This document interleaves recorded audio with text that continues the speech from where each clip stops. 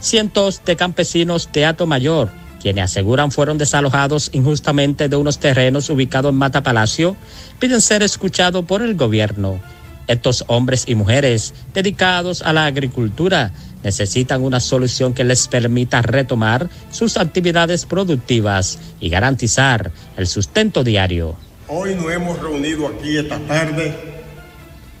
para hacerle un llamado al excelentísimo señor presidente de la República, el licenciado Luis Rodolfo Abinader Corona, de que él tome cuenta en este asunto ya que nosotros los parceleros de la Asociación La Lumita y La Esperanza fuimos maltratados